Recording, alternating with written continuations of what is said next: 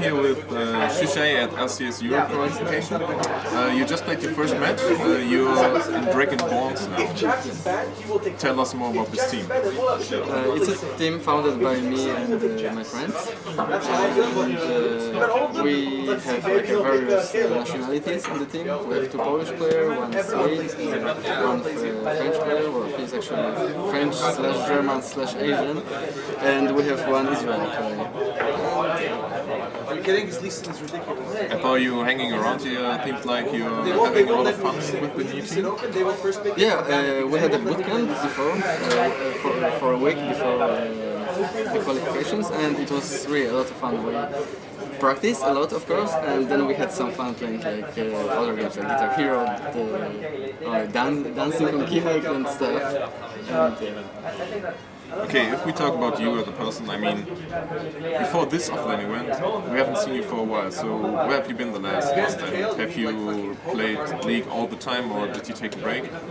uh, after uh, departing from Fnatic, I kind of a bit focused on my stream. Then I had some internet problems, but uh, I always knew that I wanna get back. So I was uh, looking for a team. I was looking for uh, people that I can uh, form a team with and play with, and have fun with. Where? Where will we play, Jason? So uh, you played at uh, the Gamescom for Thesis 3 qualifier. Uh, what happened after this?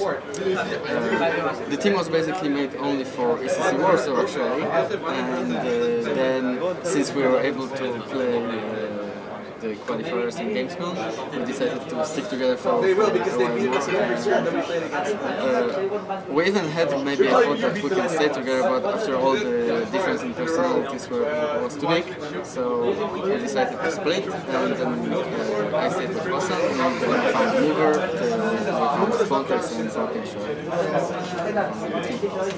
Okay, if we talk about you as a person, um, you said you already had in mind that you definitely want to come back. So, what is League of Legends for you at the moment? Is it like you definitely want to go full time, or do you think about maybe going back to study or something? I want to go full time. It's, it's really cool experience to be able to are going to try to play make gaming. things out of it and they will counter it. Like, And it's, it's really fun. It's something I love to do. I mean, a lot of people probably likes to play computer games, right? And uh, yeah, it's also a lot of fun, you know, traveling and stuff. So um, after this tournament, I mean you now got the first win. There are pretty good chances chances to go through the group. Um, what are your plans after the tournament? I mean, if you're going to the Pro League to LCS, course you will go full time. But is there an option for you to play the amateur league? he's, he's good. Well, if we if we by any chance, let's hope not, uh, don't qualify for uh, LCS, we're probably gonna stick to the You have no uh, sustain with it. IEM events and the, the other stuff than the LCS. All right, so uh, let's talk about the first game here. It was um, we saw Draven on bot lane. I mean, we don't see Draven in professional gaming that much, but you also decided to play mid. Um, do you think Kayle is strong in Season 3? Because we didn't uh, see it in Season 2 that much, but people say in Season 3 Kayle is very viable, like on top lane or in jungle, because very fast jungle. And uh, yeah, we also saw AP in the Kayle by you, so tell us about your gems. Uh, so I think that Kayle is really strong, and she was really strong, but people just didn't see that. She always had a lot of damage early game. Her early game damage is the, best, and then she also has various uh, builds to uh, go on. I mean, she can go attack speed, and she's useful. She can go uh, full AP, and then she gets uh, really insane burst late game.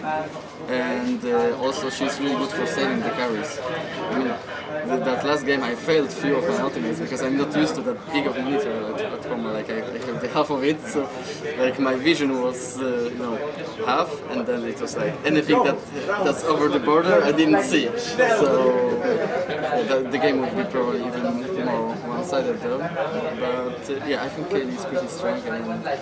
About what my other champions, I probably I'm not gonna say them, but you will able to see them later. Okay, if I remember right, at uh, Gamescom you put out AP Philistine Summit, and you were probably the first player in Europe who played EVE. Right? What do you think about the new, I would not call it meta, but a lot of people used to play AP, uh, AD bruisers in mid lane, do you think about playing them, or don't you re really don't you like that idea and will stick to your AP champs? I actually have uh, in my champion, I have like 50-50 AD and. I love AD champions for the action. I mean, if you if you play AD on mid, you can, you make a lot of moves. You can like push around, go gank, you can just force the fight and maybe there's AP like let's say Karthus, and if you're playing Jax, you can just jump on him every time and you're lose a lot. Uh, you could see the game with uh, between Milan and Acer now. The, the, uh, Acer had Karthus and Milan had Vulcan. You can just jump on him and do serious. Right?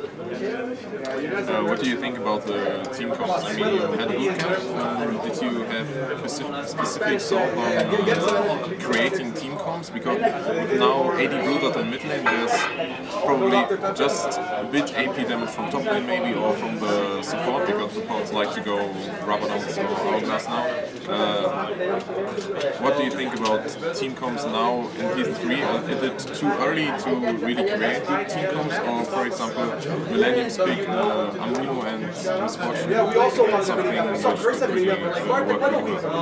Yeah, I think uh, I mean the team comps were starting to be created in season 3, but the, the, the old comps also worked. But yeah, uh, during the practice we tried to, but we uh, uh, made some, but we didn't focus on them. We kind of focused on uh, the synergy between our champions, and then uh, Uh, I mean the team comps just come up naturally. Like, uh, okay, so this work with that, this work with that. Okay, let's try this, this, this, and this. Okay, this worked. Or, or, okay, this worked well, but this champion we should ch- we should change this champion because it, it wasn't so good. It could be better. So I didn't you played Jax. You're next. You're next. Okay, let's uh, talk about this tournament. Your next opponent will be Team Acer and uh, Millennium. What do you think about them? uh, I think uh, there are pretty good teams, and especially Millennium. And, uh, though if, if we can pull off the early game against Millennium, we should be able to beat them. After the game, you don't need it. Without I don't know. We haven't played them, so we're gonna see on the stage. Okay, my last question will be about the players bans. I mean, in the last days, Riot banned, I guess, five players for this event. Uh, for example, one team was You guys, if you guys don't drop like totally banned. Three players points. were are not able to attend. Uh, first of all, do you think it's the right decision to handle the situation to uh, professional players just like the normal players, like all the other millions uh, all Yeah, over the world playing League of Legends. I was thinking of selling it, And, giving it away on uh, stream. yeah, what do you think about the timing? Do you think it's okay because Riot has to do it at some point, or do you think it's pretty bad because it's right before the tournament and, for example, one team is now not able to attend? I think um, no player should be above uh, others. Everyone should be treated equally. But on the other hand, uh, like you said, I think Riot should have taken that into consideration before, like.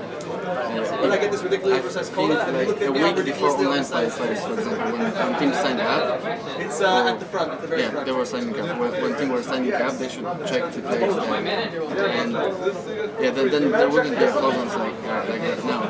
Like someone have to fly, they have plans and stuff, and then suddenly they're like, oh, we don't go. It was a mistake to get this, I can't finish it. Alright, Shushei, thanks for your time. Uh, the last book, are yours, and maybe you can give information if fans can buy your awesome hats. The awesome hats uh, named the Dragona hat made by my girlfriend will be uh, will be being sold on uh, on internet after this. Uh, there should be shortly. I'm, I'm, I'm pushing for my managers to do that, but we will see. Alright. We're not weak. Thanks.